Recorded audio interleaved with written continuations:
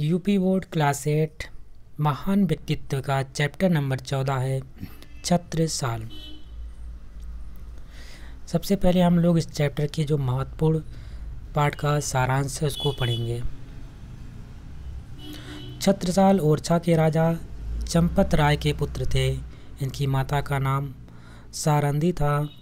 पिता ने इनको रानी के साथ मायके भेज दिया और चार वर्ष तक वे वहीं पर रहे। सात वर्ष की अवस्था में इनकी शिक्षा प्रारंभ हुई और तीन वर्ष में एक कुशल सैनिक बन गए। सोलह वर्ष की अवस्था में इनके माता पिता का स्वर्गवास हो गया। इन्होंने अपने बड़े भाई से मिलकर बुंदेलखंड का राज्य दोबारा स्थापित करने की योजना बनाई।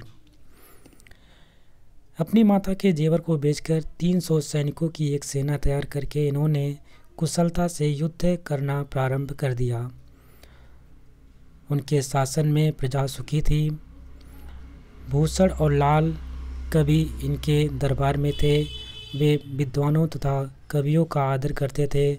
सन 1731 में तिरासी वर्ष की आयु में इनकी मृत्यु हो गई। इन्होंने अपनी समस्त जीवन देश तथा जाति की भलाई में लगा दिया।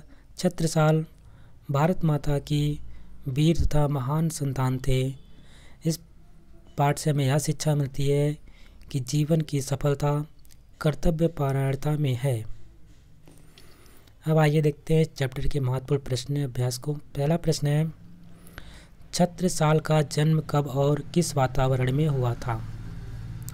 तो उत्तर में लिखेंगे, यहाँ पे आप कर लीजिएगा छत्र साल, ठीक है? छत्र साल का जन्म सन 1648 ईस्वी में पहाड़ी तथा जंगली प्रदेश के वातावरण में हुआ। प्रश्न नंबर सेकंड है, छत्रपति शिवाजी ने छत्रसाल को क्या उपदेश दिया? उत्तर में लिखेंगे, छत्रपति शिवाजी ने छत्रसाल को उपदेश दिया कि वीरता से लड़ो, लालच कभी मत करो, अधर्म कभी मत करो और किसी धर्म या जाति से द्वेष ना करो। प्रश्न नंबर तीन है छत्रसाल की प्रशंसा में किस कवि ने कविताएँ लिखी? तो वेरी इंपॉर्टेंट क्वेश्चन है। छत्रसाल की प्रशंसा में कविभूषण ने कविताएँ लिखी। प्रश्न नंबर चार है, औरंगज़ेब छत्रसाल को क्यों ना हरा सका? उत्तर में लिखेंगे, क्योंकि छत्रसाल के लड़ने का ढंग बहुत कुशलपूर्ण था।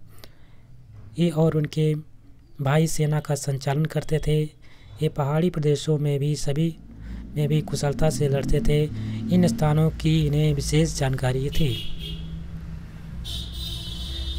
प्रश्न नंबर पाँच है, छत्रसाल का राज्य प्रबंध राज्य प्रबंध कैसा था? उत्तर में लिखेंगे छत्रसाल का राज्य प्रबंध बहुत उत्तम और प्रजा को सुखी बनाने वाला था।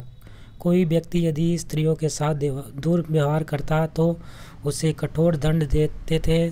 सारा राजकाज इन्हीं की आज्ञा से चलता था। प्रत्येक व्यक्ति चाहे वह कितना ही छोटा हो, इनसे मिल सकता था। ये सबकी विनती और बात ध्यान से सुनते थे तथा सबकी सहायता करते थे।